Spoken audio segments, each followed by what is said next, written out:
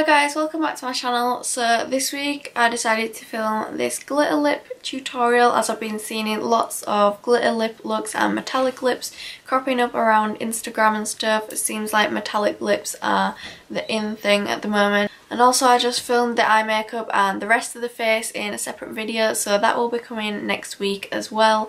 And so yeah, if you would like to see how to do this glitter lip then please keep on watching. So first off, I'm just wiping off any makeup that I may have on my lips to begin with, so we have a nice clean surface to work on.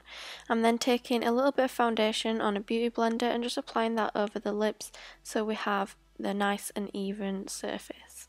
And then I'm taking Becca Champagne Pop highlight and I'm just applying this to my cupid's bow. This is just personal preference, you don't have to do this step, but it is preferred.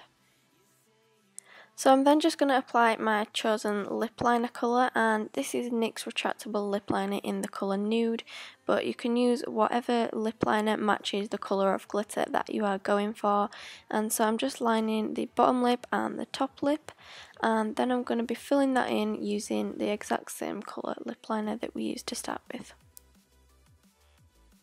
Now you could fill it in with a regular lipstick here, but I just found it a lot easier to just fill it in using that exact same lip liner.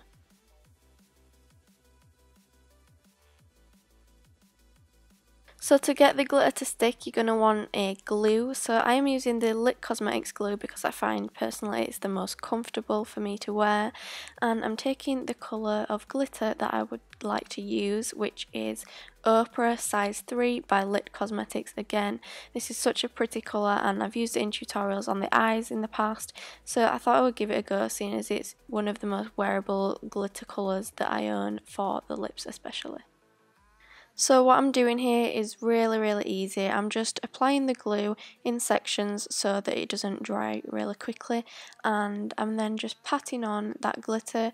Again I'm patting and not swiping because swiping will disturb the lip liner that we have underneath and it'll also mean that you won't get as thick a coat of the glitter.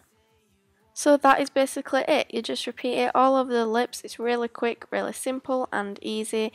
Although I would say that it is not suitable for eating or drinking. So maybe just do this if you're having photos taken or something like that because it's also not very comfortable to wear. Thank you guys so much for watching. As always, if you liked it, please don't forget to give it a thumbs up because that really helps me. And also, I hope you liked this little lip tutorial. It's a change from what I usually do. So let me know if you liked it or not in the comments below. And if I should do more of them, I was thinking maybe I could do a metallic one or I don't know, anything you want in the future. That's all from me this week. And next week will be this makeup that I'm wearing on the rest of my face. So yeah, I'll see you next week. Bye!